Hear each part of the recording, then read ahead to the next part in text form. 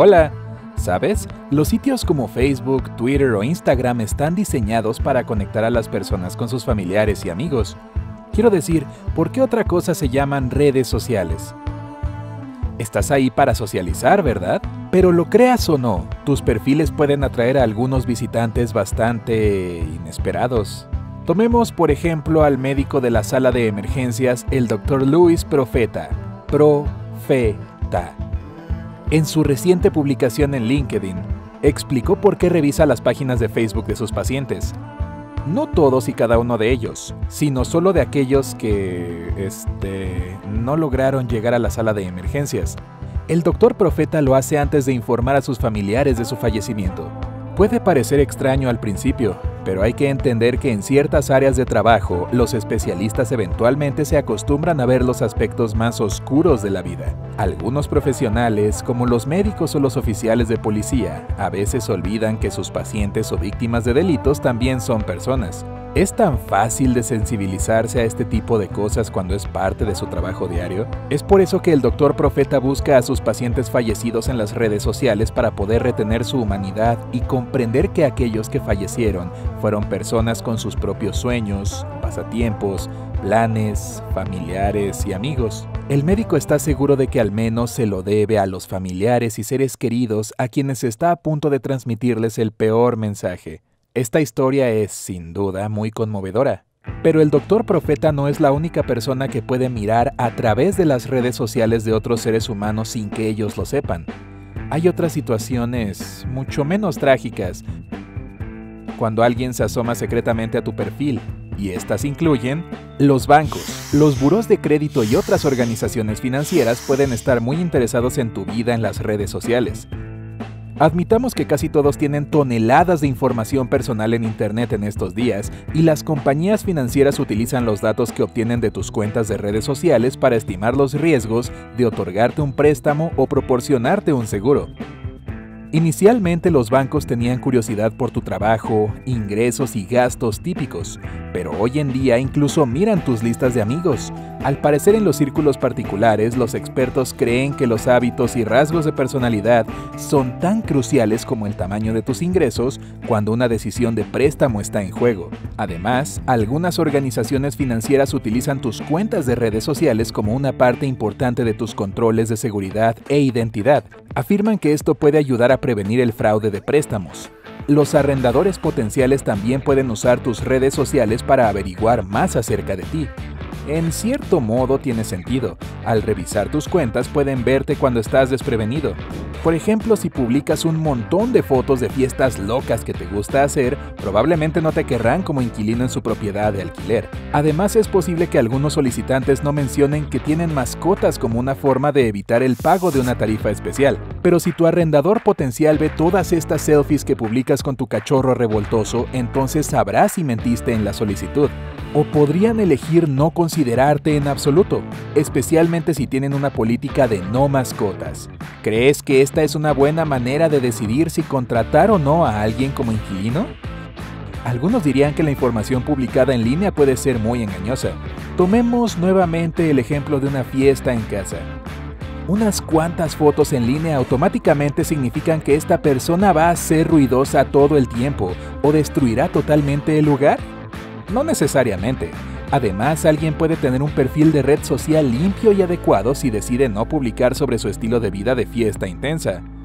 Yo solo digo, Además de los bancos y los arrendadores, hay otro grupo que realmente ama explorar tu perfil de redes sociales, y esos son los posibles empleadores. Según Business News Daily, en estos días más del 70% de los empleadores utilizan las redes sociales como una parte esencial de su proceso de selección. Ese es un aumento importante del 60% con respecto al 2016. Y si hablamos del 2006, revisar a un candidato por sus redes sociales era algo que casi no se escuchaba. Solo el 11% de los empleadores lo hacía hace más de una década. Hay varias razones por las que las empresas querrán visitar tus cuentas de redes sociales. En primer lugar, quieren verificar tu identidad para hacer esto intentan encontrar tus perfiles en diferentes sitios y verificar si todos ellos están vinculados a ti.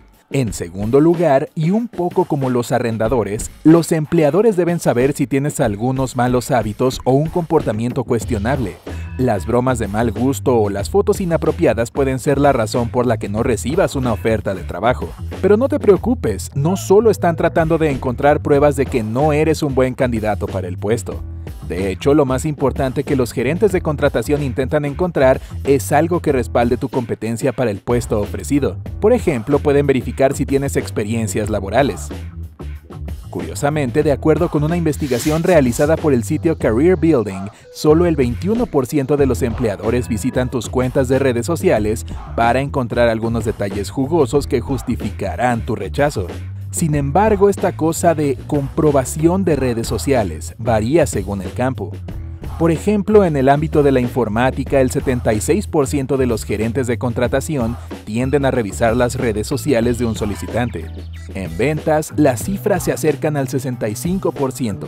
Alrededor del 59% de los empleadores que trabajan en el comercio minorista y el 56% de los que se ocupa de la manufactura visitan las cuentas de redes sociales de los candidatos. Y aquí están las malas noticias. El 49% de los gerentes de contratación declararon que, en repetidas ocasiones, encontraron diferentes ejemplos de información negativa cuando estaban seleccionando empleados potenciales. ¿Y cuál podría ser esta evidencia? Bueno, las fotos provocativas, las malas palabras sobre los ex jefes, los comentarios discriminatorios e incluso las malas habilidades de comunicación pueden hacer que una persona sea rechazada para un puesto de trabajo. Ahora, se rumorea que algunas embajadas también pueden visitar tus cuentas de redes sociales, especialmente si estás tratando de inmigrar a su país o si estás solicitando una visa de estudiante. En primer lugar, los trabajadores de la embajada podrían estar tratando de confirmar algunos datos especificados en tu solicitud, como el estado de tu relación, educación o experiencia laboral. Además, mirar tus redes sociales puede ayudarles a realizar controles de seguridad. De esta manera pueden identificar a individuos con comportamientos o puntos de vista sobre la vida inapropiados. Por lo tanto, publicar contenido enojado y violento, tener todas las cuentas de redes con bloqueo de privacidad o la falta de respeto de todos tus perfiles puede ser la razón por la que te rechacen para una visa. Y por último, pero no menos importante, ¿saben cómo dicen que el gran hermano también te vigila?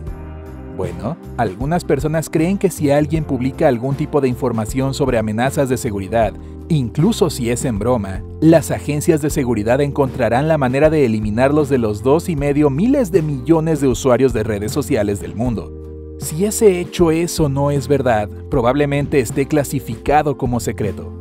La regla de oro con respecto a las redes sociales y tu imagen es, si no tienes algo bueno que decir sobre alguien, entonces habla conmigo. Solo bromeo.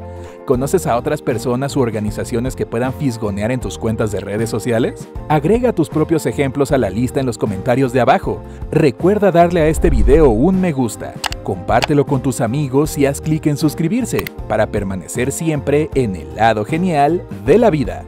Nos vemos la próxima.